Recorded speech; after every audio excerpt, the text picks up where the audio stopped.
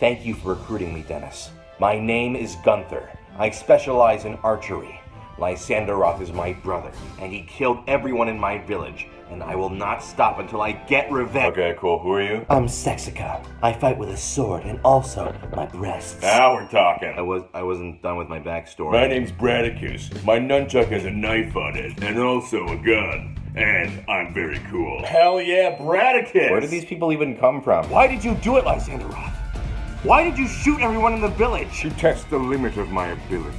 Guys, I, I feel like I should be in the party for this one. Not now, Gumby. It's Gunther. If only my little brother Gunther could see me now. Oh, he, he just said my name. This is like my whole storyline. I would show him the true potential of my power. I think I have dialogue for this part. Gopher, please. Do you really need both Bradicus and Chadicus in your party? Dude, Chadicus is awesome. My sword has a gun on it. I'm Lysanderoth's brother. And I'm very cool. Are you kidding? I don't even know who we're fighting.